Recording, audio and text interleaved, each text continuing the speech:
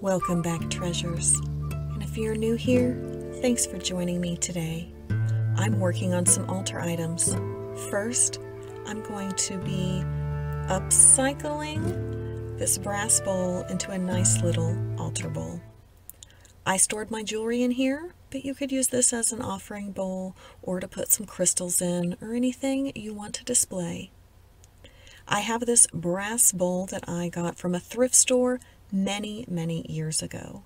And I'm just going to remove some of this tarnish and shine it up a little bit with some Bar Keepers Friend. This is a liquid that you can use to clean various different metals and other surfaces um, like ceramic. I can use this to clean my sink sometimes or a toilet. But today we're using it for a brass altar bowl. And while this did work and take the tarnish off, it required an extreme amount of elbow grease as well. I will likely never do this again, but I really like the way it turned out, even though after all of the scrubbing I did, I was still not able to get it out of the little divots from this kind of hammered effect that runs down the middle of the bowl. If you're new here, be a treasure and hit that subscribe button below so you can stay up to date on all of these crafting adventures.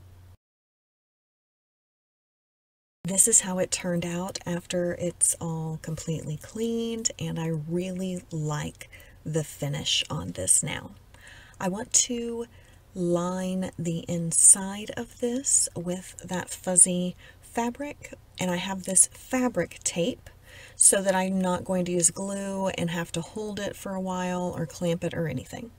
But this tape is a little bit wide, so I'm going to use this just box knife to score down the center to create two different strips of tape instead of one strip of tape. Then I'm just going to take one side of this extremely double-sided sticky fabric tape and put it right where the edge starts to roll on that kind of top lip, but still where it's flat on the inside of the bowl. So not completely on the top of the that little lip there, but just where that bowl meets it. And I want to stuff it with some padding so that it's kind of cushioned in there. I was afraid that the batting would move around too much, so I used this glue to spray the inside of the bowl and then put the batting in. And then I thought that the batting would still move around, so I sprayed over the batting again before I laid my cloth fabric down into the bowl. Now I'm going to cut around it just so I can get some of this excess off. Yes, I could have cut a smaller piece originally, but I wasn't really measuring or anything. This is just how crafting goes sometimes, okay?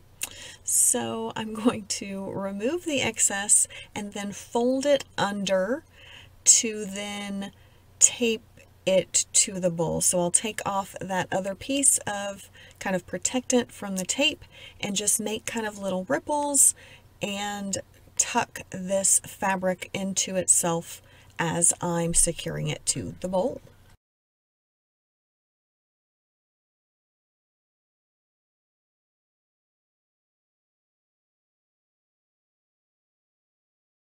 And this is how it turned out. I absolutely love it. It is so soft and shiny as well.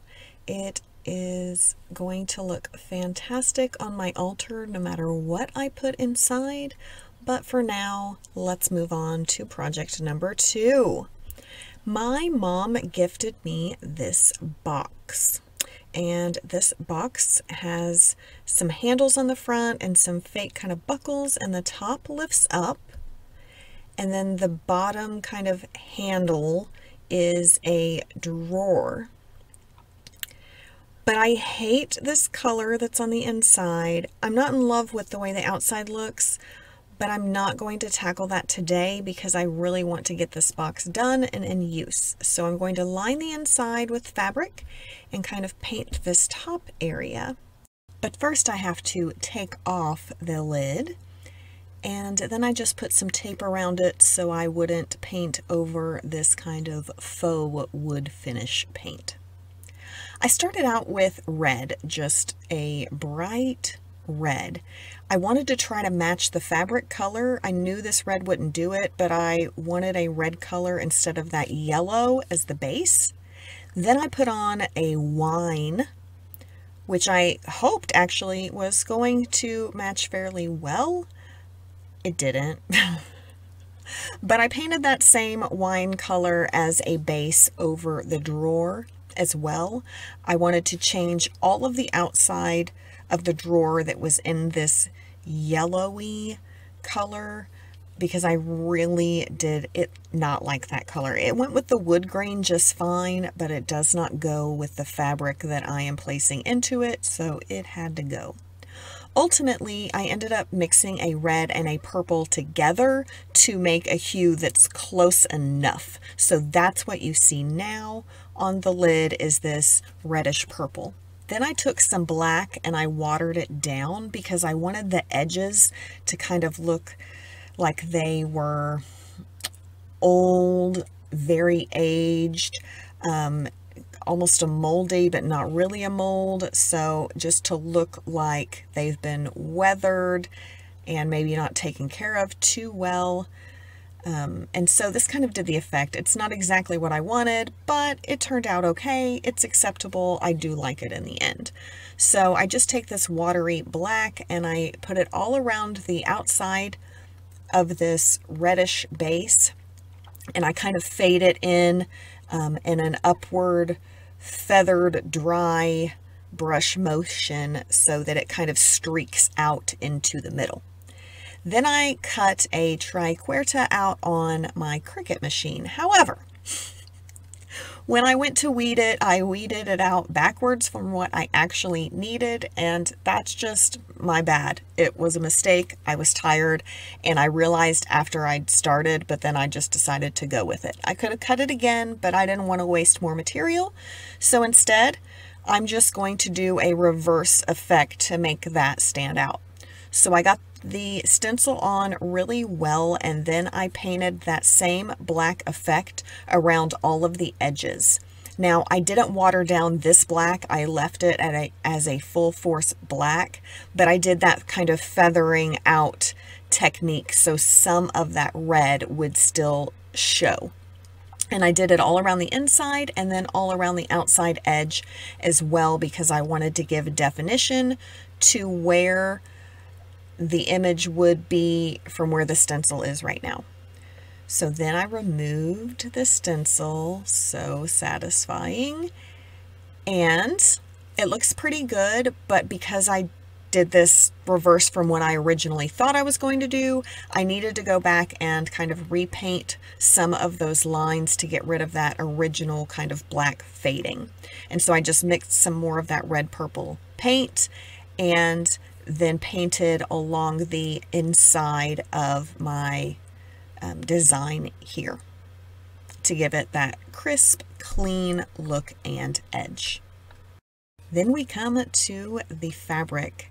I went ahead and painted the inside of the drawer area and then put an enamel on it as well as the outside of the drawer so it wouldn't stick or rub off any of that yellow paint onto my freshly painted um, drawer and I'm painted the corners of all of the drawer and um, kind of top area as well so that if I don't get my lines right on this fabric that you won't see it as much. I wanted to start with clean edges on the fabric so I just cut off clean edge for nice perfect measurements and then I measured the inside portion of the drawer only and cut out a piece for the base and then four pieces for the sides.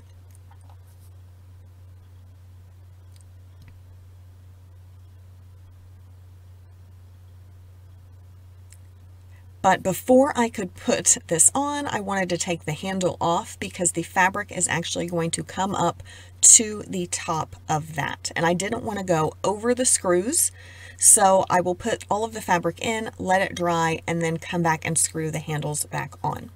I just used Mod Podge for this, and if I put an ample amount, it should be fine. And I used my fingers and actually this paint mixing tool to smush it down so it gets nice and flat on that wood surface and stays secure while it dries. So I'm going to do this around all four edges of the drawer and then I'm going to put the base down.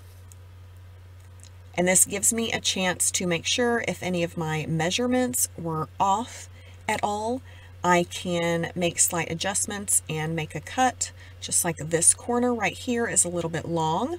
So I'm just going to snip it off so I don't have an overlapping fabric piece at that corner edge.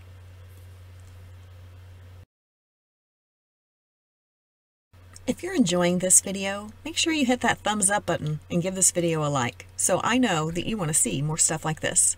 And if you have an idea on a future video that you'd like me to do, please let me know in the comments below. I'd love to hear it. After all the fabric's been placed and it's completely dry, then I use an X-Acto knife to punch the holes through where the screws will go so that as I screw the screws in, they won't try to pull any of the fabric. So just make some slits, put the screws back in to get the handles secure. Then I need to put the hinges back on so that I can put the top piece back on. I probably should have put the hinges on the lid and then put them on to the base, but Hindsight. I hope you've enjoyed this as much as I have today. Thanks for joining me. Until next time, treasures, keep crafting.